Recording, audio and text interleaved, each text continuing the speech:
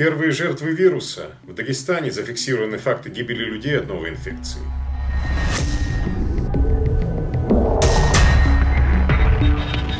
Лики новой реальности. Как дагестанцы переживают самоизоляцию. Смотрите в нашем выпуске.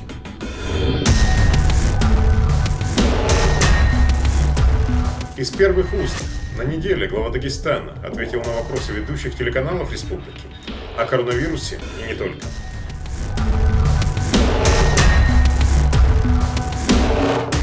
Здравствуйте! Это итоги недели на канале ННТ и я, Мурад Ахмедов.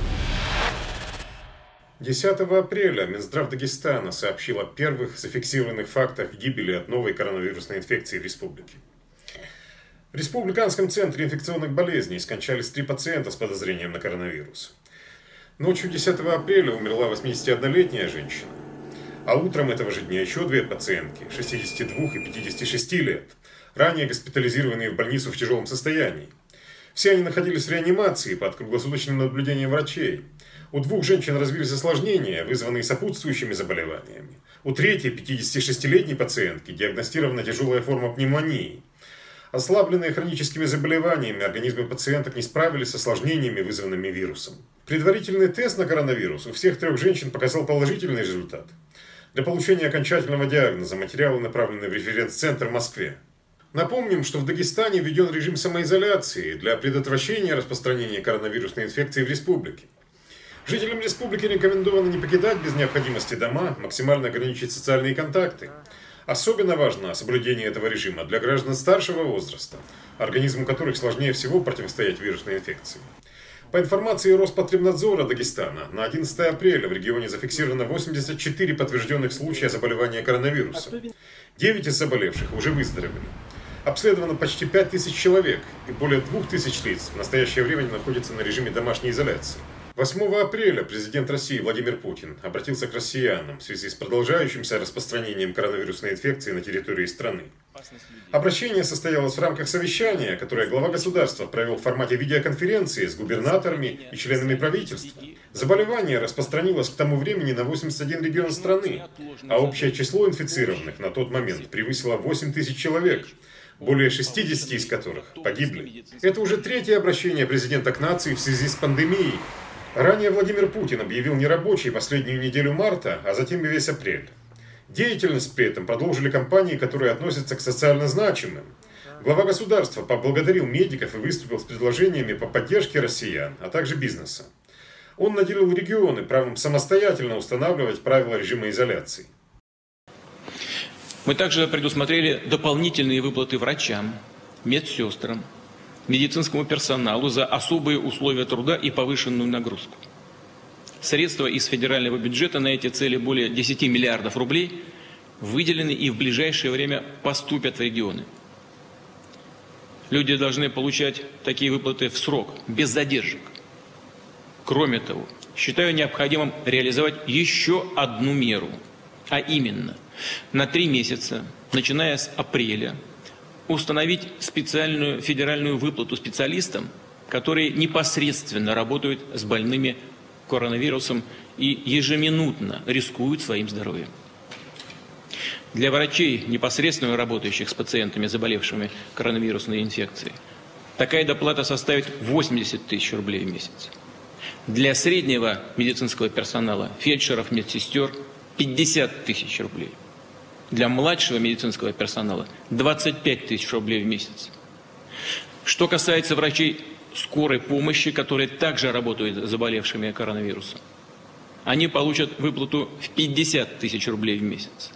Фельдшеры, медсестры и водители экипажей машин 25 тысяч рублей пятницу глава Дагестана Владимир Васильев в режиме видеоконференции ответил на вопросы журналистов, ведущих федеральных и республиканских телеканалов на фоне распространения коронавирусной инфекции в республике. Наших коллег интересовал широкий круг вопросов от поддержки малого и среднего бизнеса до наказания за нарушение режима самоизоляции. Ответил глава Дагестана и на вопросы нашего телеканала, коснувшись проблем недооценки населением вирусной угрозы, бесперебойного обеспечения людей коммунальными услугами и возможного роста безработицы. Подробности далее. Да, рад приветствовать. Привет. Мурат, привет. Привет. Да. Ну, у меня вопрос, э, собственно говоря, из нашей информационной сферы. Наша телекомпания э, перешла на дистанционное вещание. Мы вот новости уже записываем в дистанционном режиме две недели. Но судя по комментариям вот, под нашими новостями, все-таки присутствует недооценка этой угрозы. Э, в первые дни индекс самоизоляции был очень хороший в Махачкале и по городам Дагестана. Но сейчас видно ощутимо, что люди чуть-чуть расслабились, стали выходить на улицу. На фоне тех э, жестких мер, которые в соседних регионах э, предприняты, в Дагестане все достаточно спокойно и мягко. Вот чтобы эту угрозу люди не недооценивали, какие вот меры информационного воздействия возможны еще? Как людям все-таки до, до людей донести всю опасность? Спасибо вам большое. Очень хороший вопрос, важный вопрос. И я бы сказал, что вот то, что я говорил сейчас, что мы идем навстречу целым отраслям, не только крупным объектам мы поддерживаем тех, кто может соблюдать правила, и, и тем самым как бы их поощряем. Понимаете, да, подход?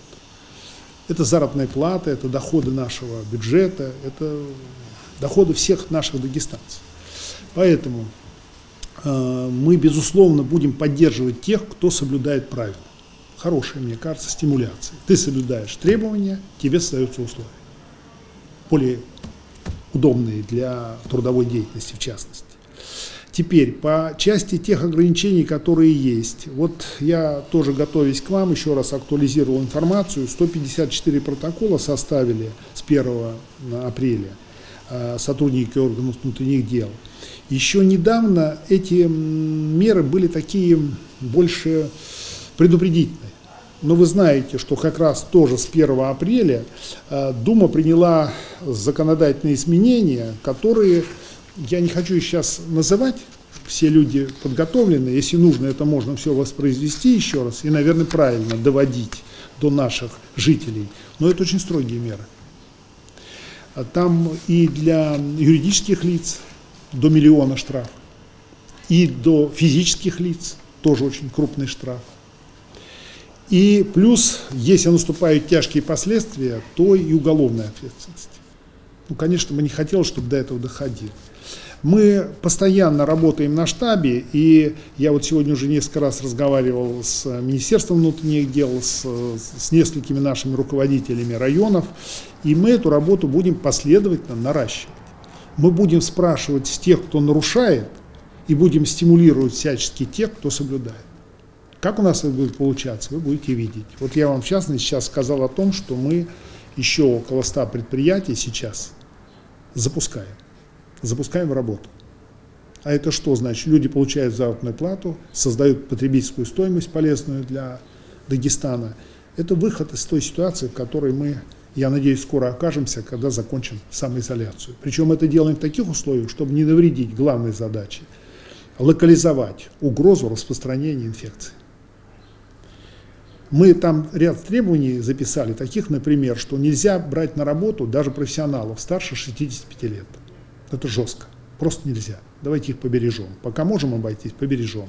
Теперь, те, у кого есть хронические заболевания. Ну, понимаете, тот перечень, который Роспотребнадзор обязательно устанавливает и проверяет затем. Прошу, какие еще вопросы? Владимир Абдулевич. Как удобно. Да. Мурад Ахмедов, ННТ. Сейчас очень многих людей э, волнует такой животрепещущий вопрос э, в режиме самоизоляции, когда столько ограничений введено встает вопрос о бесперебойном обеспечении коммунальными услугами. Какие-то дополнительные меры контроля в этой сфере реализуются, чтобы люди, когда и так они заперты, они не остались без света, без воды, без газа. Тем более, что ветер, у нас же малейшее какое-то отклонение, и тут же чревато авария. Очень актуальный вопрос, спасибо за него. Значит, что по этому поводу хочу сказать. Тема действительно очень болезненная, особенно представить себе, когда люди находятся мест, э, дома, вместе все, в условиях изоляции, когда, в общем-то, элементарные потребности, как электричество, вода, не обеспечиваются. Значит, э, что могу в этом плане доложить? Значит, э, у нас на сегодняшний день составлен план, и мы о нем когда-то еще говорили, и я признателен за то, что и ваши издания этому уделяли внимание. Э, было проведены, помните, учения. когда были привлечены из России специалисты, в частности электроэнергетики, сетевики, и которые помогли нам. Составлен план э, по приведению системы сетей электрооборудования в Республике Дагестан. Он еще не в полной мере профинансирован, на федеральном уровне. Но этот поиск шел, пока не был достигнут. Но на сегодняшний день, вот сейчас у нас с этого месяца должны были проводить работы в объеме около миллиарда рублей. В том числе в Махачкале и в ряде других муниципалитетов. Всего 25. Это делает федеральная сетевая компания в продолжении той работы. Мы сейчас вынуждены были отказаться. Вот на эти дни, когда проходит вот это вот непростая работа по самоизоляции, по локализации угрозы заражения людей. Понимая, что и дети должны в школу ходить, и все остальные должны иметь возможность пользоваться элементарными вещами, без которых трудно жить сегодня не только в городе, но и в селе. Но мы договорились с руководством э, значит, нашего окружного э, значит, э, управления, что как только решение будет достигнуто, мы э, начнем быстро восполнять вот эту работу. Она тоже позволит улучшить состояние сетевого и электрохозяйства. Но при этом хочу сказать, что наше сетевое хозяйство, оно очень такое изношенное. 70% где-то износ сегодня у нас по электросетям. Поэтому особенно в горных районах. Здесь э, нам предстоит еще большая и планомерная работа. Мы смотрим сейчас по количеству отказов. Вот только что разговаривал с мэром Махачкалы. Жители лучше, конечно, это чувствуют. Мы смотрим, да, они есть, они есть. Но если посмотреть за период предыдущий, они снижаются. То есть те меры, которые проводились. И, конечно, было бы хорошо, если бы сейчас, а, кстати, были запланированы эти меры вот здесь, сейчас в апреле и в Махачкале. Но вот пока придется исходить из того, что мы имеем. И здесь я бы хотел попросить сейчас и опять поблагодарить людей. В этом году, прошедшем, у нас платежи за электроэнергию увеличились на 13% по сравнению с предыдущим годом. А это почти 7 миллиардов дополнительных средств. Я о чем говорю еще? И обращаюсь к вам, э, глубоко уважаемые махачкалинцы, и не только, дагестанцы, все. Смотрите, так устроена экономика. Я вам рассказывал, откуда взялись деньги в бюджете, почему они растут каждый год. Потому что мы, первое, не даем больше воровать по-крупному. Первое. Второе. Мы направляем средства под контролем, мы выбираем наиболее эффективные модели их расходования, которые не ведут к потерям, а ведут к экономии.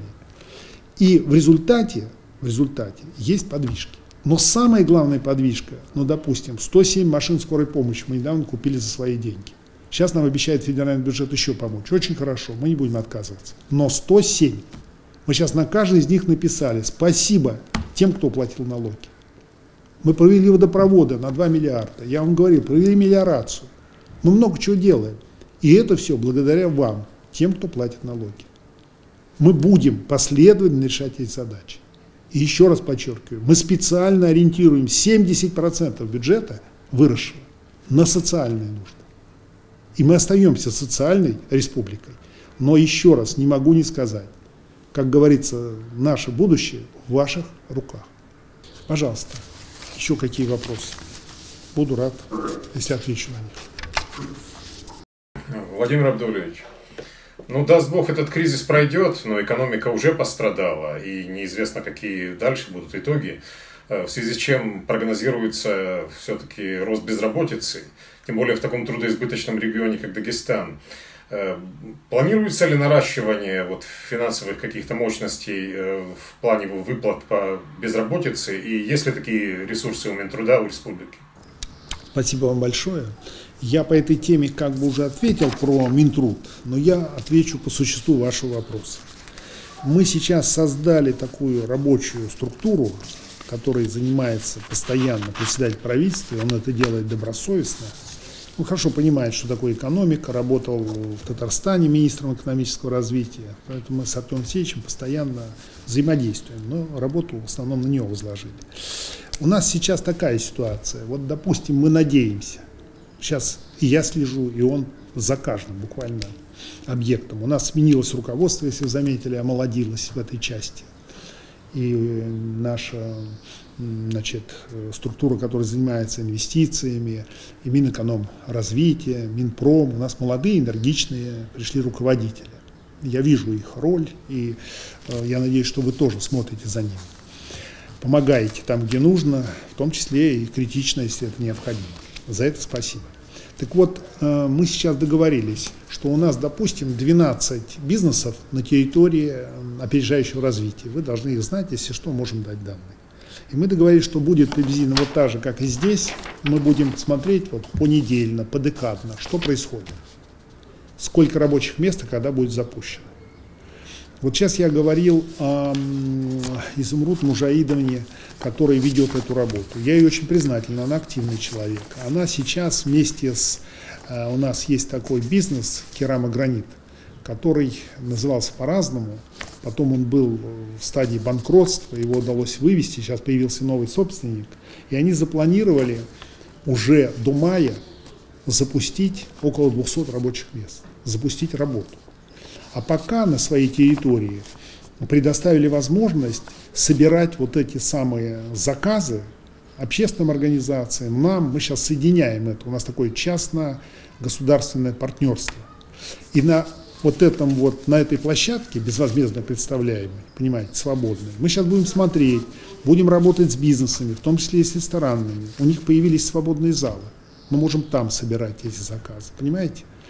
Но при этом у нас появляются рабочие места. Но я сейчас отклонился от темы. Мы сейчас ставим задачу так, чтобы бизнес, который намерен создать рабочие места, ну, буквально опекать. Понимаете?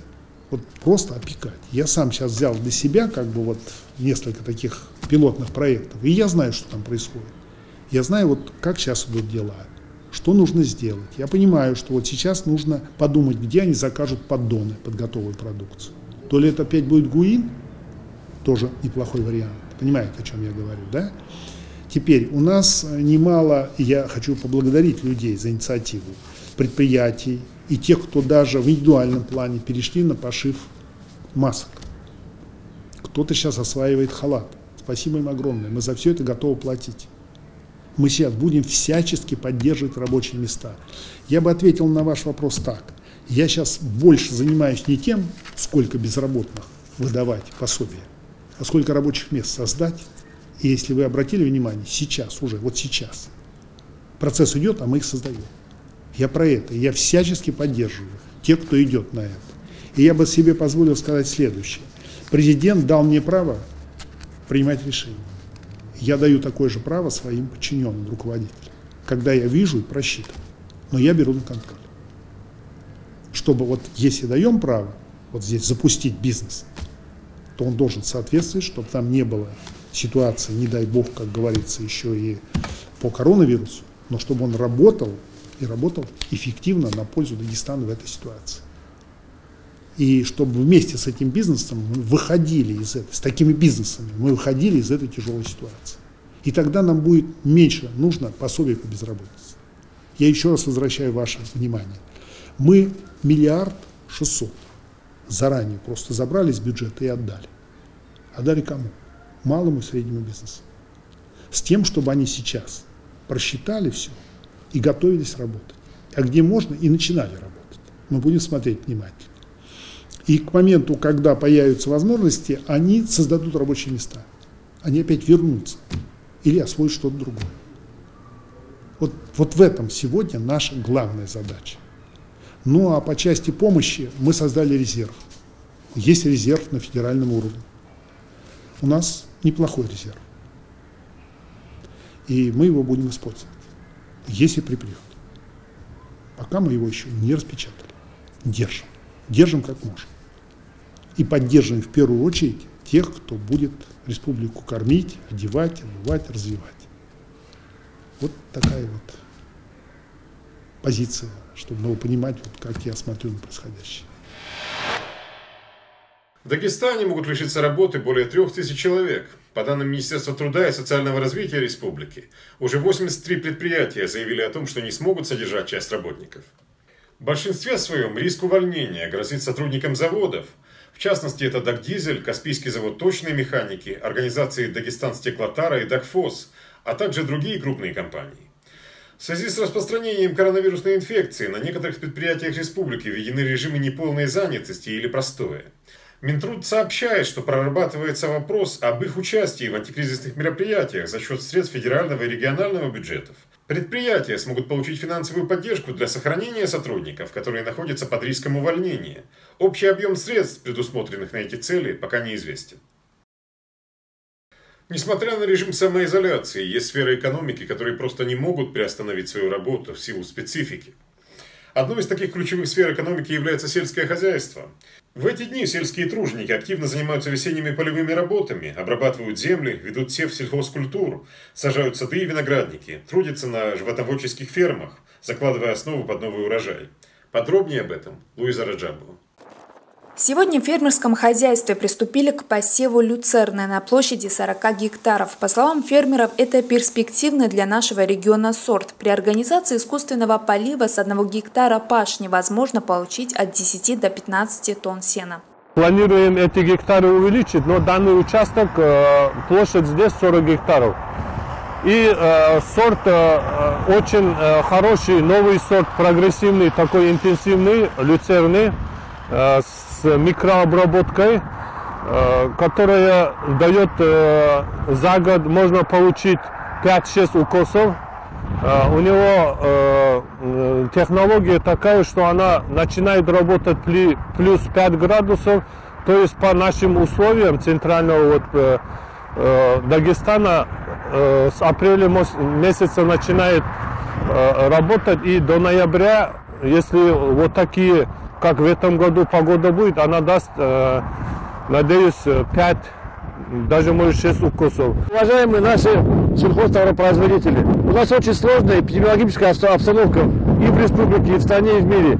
Поэтому от нас с вами зависит продовольственная безопасность. Большая просьба вам, давайте вместе с вами нашим трудом обеспечим стране продукты, обеспечим стране продовольственную безопасность. Отдельно хотел бы обратиться к жителям сел. У нас у всех есть придомовые и приусадебные участки. Давайте их обрабатывать и давайте использовать, проведем время самоизоляции.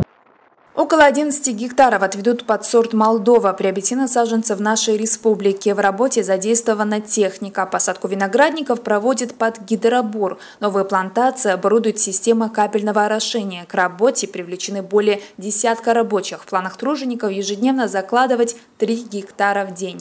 Сегодня мы собрались здесь на посадку виноградника сорт Молдова. Здесь у нас 10 гектаров земли. Иншаллах, Аллах даст, погода нормально будет, за 10 дней исправимся. Важно отметить, что по своей структуре аграрный сектор Дагестана отличается преобладанием личных подсобных хозяйств населения численностью более 440 тысяч хозяйств, которые производят около 80% производимой сельхозпродукции, которые не раз доказывали, что в состоянии решить самые сложные задачи. Луиза Раджабова, Мурат Бекбар, за новости ННТ, Карабудахкенский район. Школьники вышли с каникул, но в школу не пошли. Весь месяц их ждут уроки онлайн. Учителя подготовились к дистанционным занятиям, но многие родители к такому развитию событий готовы не были. Как оценивают новую систему обучения родители и преподаватели? Смотрите в сюжете Хадижи Курбановой. Ветер, лопата, Уроки без звонка и соседа по парте. Теперь в роли школы для учеников не второй дом, а первый. Занятия проводятся в режиме онлайн. Ученики с учителями связываются по электронным каналам связи. Площадок для этого в интернете немало, однако большинство из них перегружено, поэтому многие перешли на обучение по WhatsApp или через Skype.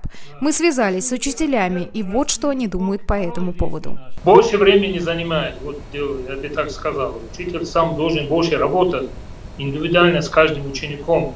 Дело в том, что когда индивидуально работаешь с каждым учеником, он как бы раскрепощается. У него такого не бывает в классе. В классе он как-то сжат, неудобно ему.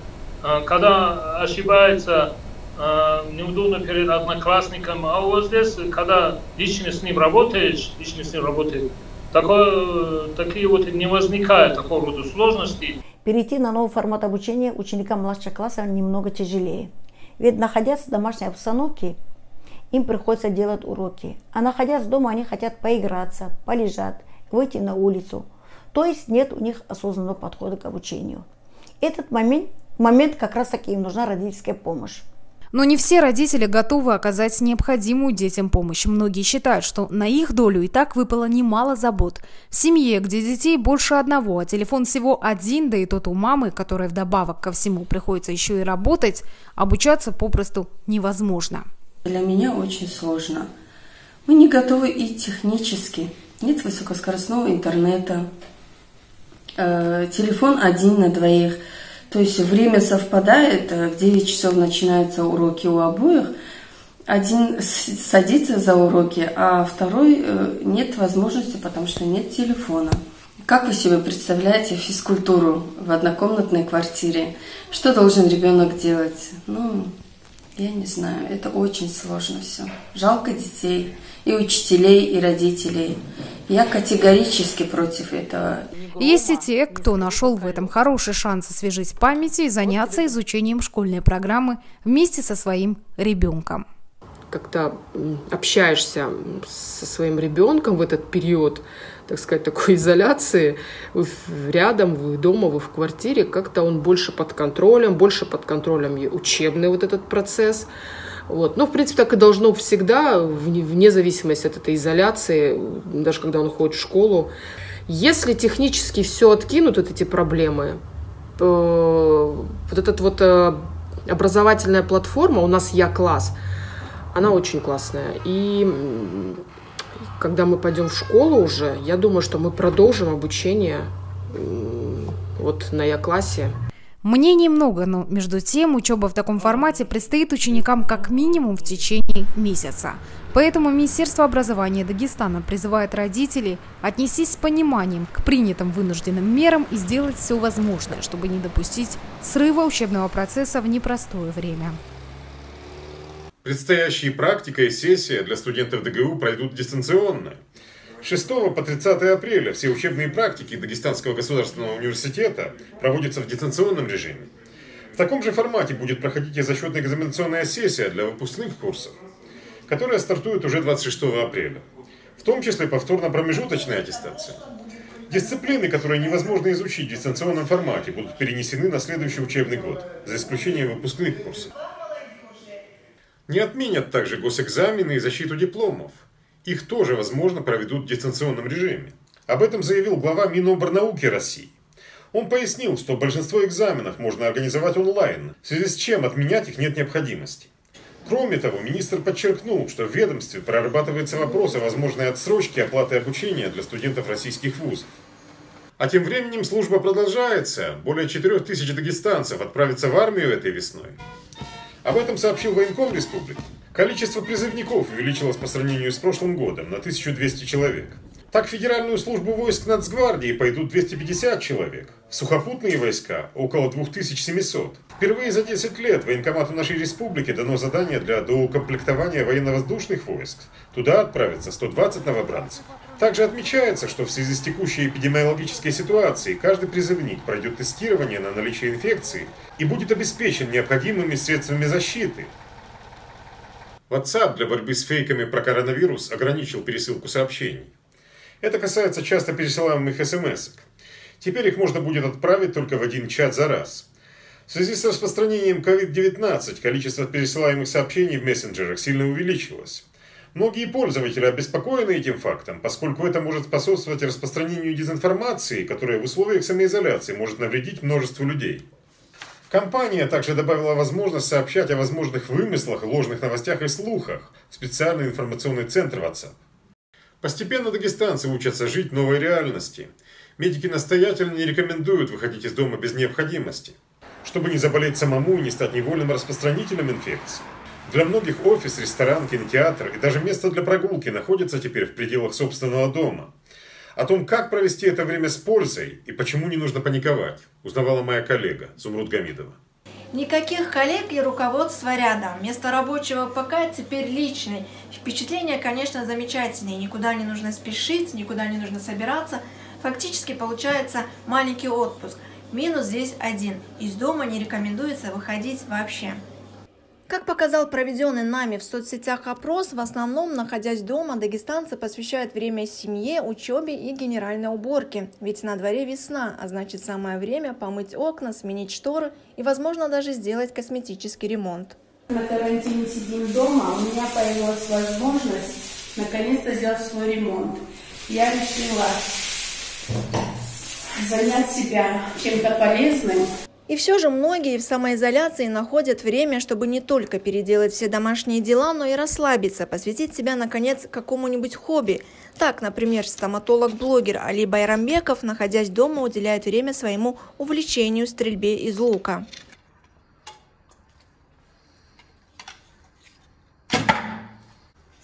Конечно, руки чешутся, хочется пару зубов удалить, очень соскучился по работе, как и все, я думаю. Максимум э, нужно выгоду извлекать из любой ситуации. Да, мы находимся много времени дома, и, скорее всего, это плюс, потому что ты э, много находишься с родственниками, с родителями, то есть обсуждаешь семейные темы, которые раньше не обсуждал, э, копаешься в огороде, у кого частный дом вообще кайф. Я считаю, выделяешь время для своего хобби, Хорошее настроение также создают вкусная еда, физические упражнения и любимые композиции. Так, исполнитель нашидов Хадис Сабиев решил порадовать своих соседей мусульманскими песнопениями прямо с балкона собственной квартиры. Нашид содержит слова поминания Всевышнего, побуждающие к благодеянию и терпению. Очевидцы сняли это выступление на видео и разместили в соцсетях. Хочу всем сердцем пожелать любви и здоровья, мама. Хадис считает, что тех, кто сейчас сидит дома, это поддерживает. Кстати, сам Сабиев, помимо любимого дела, занят и тем, что позволяет поддерживать себя в форме. Когда мы уже поняли, что такое может быть, мы домой купили беговую дорогу. Утром, вечером делаем пробежки. Нас спасет вера верьте в Аллаха, уповайте на Него, помогайте друг другу, родственники, звоните друг другу, у кого есть возможность, спросите, какая вам помощь нужна. Нам сейчас недостаточно определенного оптимизма. Карантин – время для саморазвития. Многие люди, находясь на самоизоляции, начинают совершенствовать свои навыки. Визажисты, к примеру, оттачивают мастерство владения кисточкой для макияжа. Coronavirus check.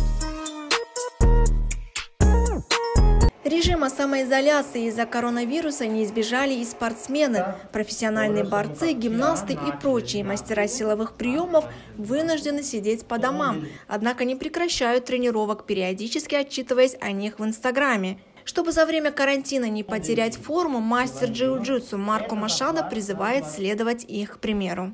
Важно быть тоже дома, и не тренировка надо мозги надо работать, да, голова надо работать, не забывай, и мысли надо всегда.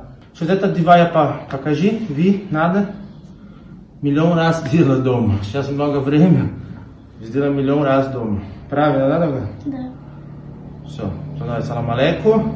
Алейкум. Даже если последний раз цветные карандаши вы держали на уроке рисования в школе, то попробуйте, хотя бы в терапевтических целях. Начать можно с раскрашивания. Занятие весьма медитативное и поможет отвлечься от тревожных мыслей. Безделье – одна из причин тревоги и депрессии, предупреждают психологи. В период самоизоляции врачи советуют вспомнить о забытых хобби и обучиться чему-то новому занять себя и своих близких какой-то полезной деятельностью. Сейчас в сети появляется много предложений о каких-то курсах, о курсах изучения языков, о курсах навыков в общем, рукоделия и тому подобное. Все-таки у изоляции нашлись очевидные плюсы. Время будто бы побежало чуть медленнее, некуда торопиться и есть возможность подумать, как и чем жить дальше, когда все это наконец закончится. Зумруд Гамидова, Дауд Гасанов, телеканал ННТ, Махачкала. Как будут производиться выплаты по безработице и другие социальные выплаты? Кому положена гуманитарная помощь и как ее получить? Ответы на эти и другие актуальные вопросы можно получить в колл-центре Минтруда Дагестана – Свою работу информационный штаб начал совсем недавно, но специалисты уже успели принять больше тысячи звонков. Колл-центр Министерства труда и социального развития Республики Дагестан. Алло, здравствуйте, слушаю вас. На фоне кризиса из-за пандемии возникло множество социальных проблем. В основном жители городов и районов республики интересуются размером пособия по безработице и методом его начисления. Сулейман Керимов помогает Дагестану. По инициативе сенаторов в Дербент прибыли машины с лекарствами, медоборудованием и защитными средствами. Стоимость закупленных товаров превышает полтора миллиарда рублей. Часть оборудования была приобретена за рубежом. Оплату таможенных пошлин, всей логистики также взял на себя Керимов. Подробнее о драгоценном грузе. Патимат Ханапова. Список приобретенных медицинских товаров обширный, от аппаратов искусственной вентиляции легких до обеззараживателей воздуха. Инициатором закупки и ее спонсором выступил Сулейман Керимов. На оборудование и лекарственные препараты ушло более полутора миллиардов рублей. Первая часть необходимого для борьбы с коронавирусом товара уже прибыла в Дербент. На самом деле ситуация с коронавирусной инфекцией оказалась неожиданной не только для всего мира, но и для, в частности, Дербента, Дагестана. Без этой помощи я не знаю, как бы мы как бы действовали дальше, потому что средства не были предусмотрены, потому что мы, э, как бы скажем, не планировали расходы. Какие-то запасы у нас, конечно, есть, но абсолютно они бы не хотели. И если бы этого не поступило, на самом деле мы бы не знали, как поступить. Я еще раз выражаю благодарность э, этим великим людям, которые значит, помогают родному Дагестану. Э, пусть Всевышний зачтет им эту помощь. Мы со своей стороны это будем использовать, естественно, по назначению. Кроме того, заметную финансовую помощь в закупке и отправке жизненно важного для Дагестана груза оказал и предприниматель Магомед Вичетов. Он потратил на эти цели более 40 миллионов рублей. По словам главы Дербента Хизрия Бакарова, вместе с главврачом они решат, что в первую очередь нужно для Дербентской больницы, а остальное затем направят в Махачкалу. Я хочу сказать Сульману Керимову большое спасибо. Также хочу большое спасибо сказать Вичедову Магомеду, который со своей группой организовал погрузку, сам тоже вложил более 40 миллионов рублей. Также хочу сказать большое спасибо Владимиру Абдуалевичу, который э, от начала до конца контролировал этот процесс и говорил, что все, что э, Сульман помогает, она должно доходить именно э, нуждающимся, в первую очередь, и в той больнице, где она нужна. Пока с товаром прибыли два грузовых машины. Там в основном медицинское оборудование и лекарства. В ближайшее время планируется на самолете доставка масок и вспомогательного материала. Кроме того, расходы на установку аппаратов и обучение персонала также взял на себя Сулейман Керимов. Патимат Ханапова, Дауд Гасанов, Новости ННТ, Дербент. Турнир UFC 249 отменен из-за коронавируса. Информацию подтвердил президент промоушена. Дана Уайт. По его словам, ему позвонили люди самого высокого уровня и попросили не участвовать в организации мероприятия.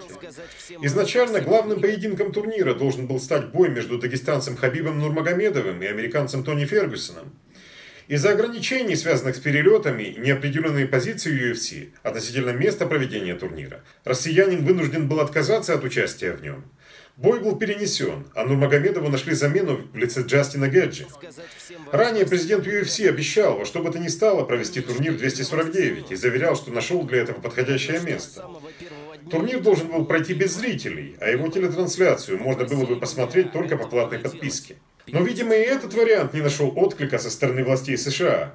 Поэтому UFC 249, а также ближайшие турниры самой престижной организации смешанных единоборств, к сожалению, фанатов отменены. Это главное, чем запомнилась нам эта неделя. До встречи в следующее воскресенье. Удачи вам, друзья. Оставайтесь дома.